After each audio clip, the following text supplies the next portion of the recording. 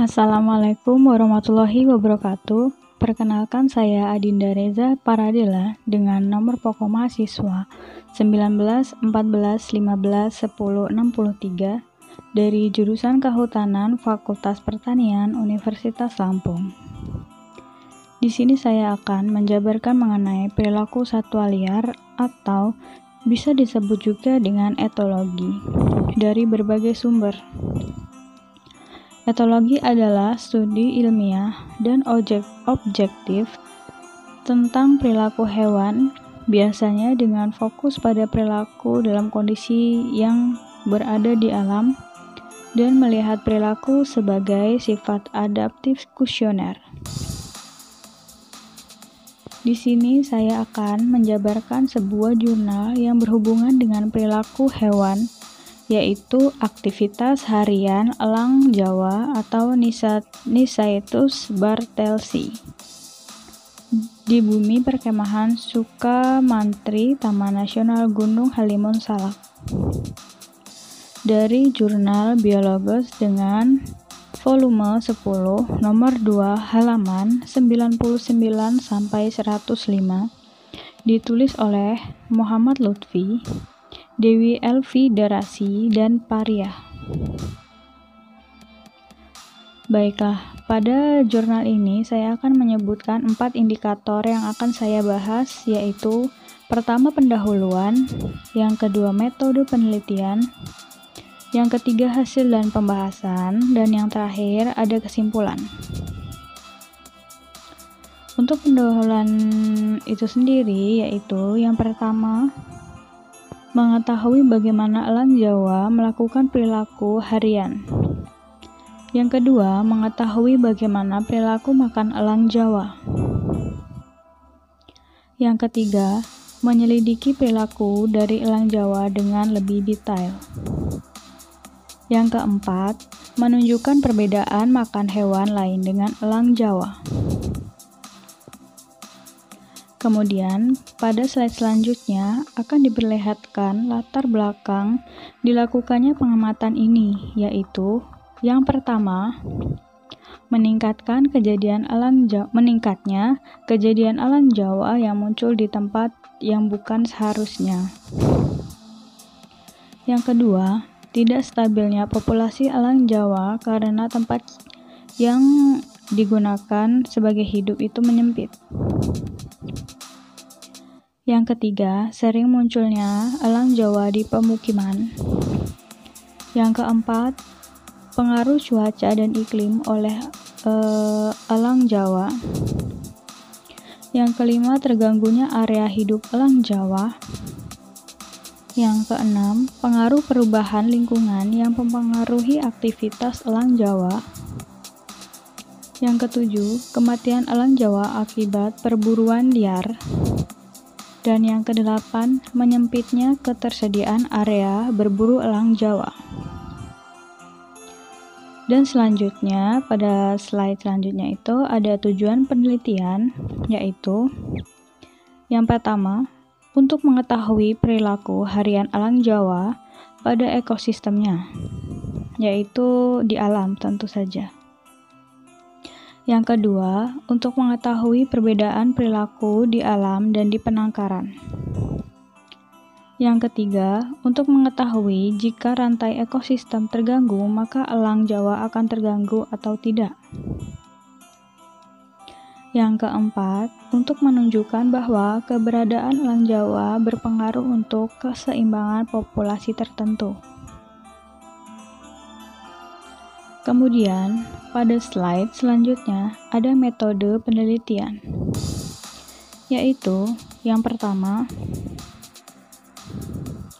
lokasi diadakannya penelitian ini yaitu di bumi perkemahan Taman Nasional Gunung Halimun Salak, Bogor, Jawa Barat. Dan waktu dari Februari hingga Maret tahun 2020. Yang kedua, menggambarkan secara umum lokasi penelitian dilakukannya eh, penelitian ini Yang ketiga, melakukan survei lokasi dan melakukan pengambilan data yang diperlukan. Yang keempat, melakukan pengamatan harian yang dilakukan dengan pemasangan alat lacak dan sebagainya. Yang kelima, melakukan prosedur kerja dengan baik dan sesuai dengan yang telah ditentukan uh, kita bisa mencontoh juga dari jurnal itu sendiri atau bisa didapat dari referensi-referensi lainnya. Yang keenam, mencari ketinggian yang pas agar dapat bertemu dengan elang Jawa. Jadi, jika ingin melihat secara langsung elang Jawa, kita perlu menentukan ketinggian yang pas be, ke tepatnya yang ada keberadaan Lang Jawa tersebut. Kemudian pada slide selanjutnya diperlihatkan peta lokasi pengamatan dari aktivitas elang Jawa. Di dalamnya terdapat sungai dan bukit-bukit bisa ditandai dengan warna-warna. Kemudian pada slide selanjutnya yaitu hasil dan pembahasan terdapat gambar diagram yang membandingkan perilaku terbang dan bertengger elang Jawa yang terlihat bahwa kebanyakan aktivitas bertengger lebih sering dilakukan dibandingkan dengan uh, terbang. Jadi, uh, elang Jawa itu lebih banyak melakukan bertengger dibandingkan terbang. Kemungkinan itu bisa jadi uh, bentuk pengintaian dari hewan yang akan dimangsanya. Kemudian di slide selanjutnya ada grafik yang menunjukkan aktivitas elang Jawa. Pada grafik terlihat bahwa frekuensi yang terjadi kebanyakan pada jam menjelang siang dan menjelang sore hari. Kemudian aktivitas bertengger akan berangsur mereda pada sore harinya. Kemudian pada slide uh, selanjutnya ini grafik menunjukkan suhu harian pada pengamatan aktivitas elang Jawa. Pada grafik tersebut terlihat bahwa suhu cenderung stabil dan hanya mengalami kenaikan atau penurunan yang tidak terlalu spesifik. Dan selanjutnya ada kesimpulan. Kesimpulan yang didapatkan dari pembahasan yang telah disampaikan yang pertama, elang Jawa melakukan aktivitas harian dengan terbang dan bertengger. Pada saat melakukannya, melakukan kegiatan e, perburuan ataupun kegiatan lainnya. Yang kedua, elang Jawa melakukan aktivitas tersebut karena sedang mengamati mangsa ataupun kebutuhan harinya, hariannya yang seperti itu di alam liar. Dan yang ketiga, dengan aktivitas tersebut Diketahui bahwa saat melakukan perburuan, elang juga secara tidak langsung melakukan perilaku terbang dan bertengger. Yang nomor empat, melakukan aktivitas terbang dan bertengger sangat berpengaruh karena dengan itu elang mendapat mangsa atau makanan yang diinginkannya. Kemudian, slide selanjutnya ada daftar pustaka sebagai sumber dari penjabaran yang telah saya jelaskan sebelumnya.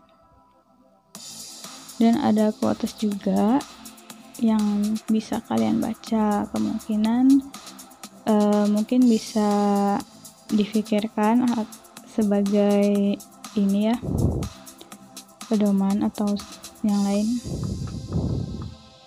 dan terakhir penutup Terima kasih atas perhatiannya. Jika ada kurangnya saya mohon maaf. Saya akhiri presentasi kali ini. Saya Wassalamualaikum warahmatullahi wabarakatuh. Terima kasih.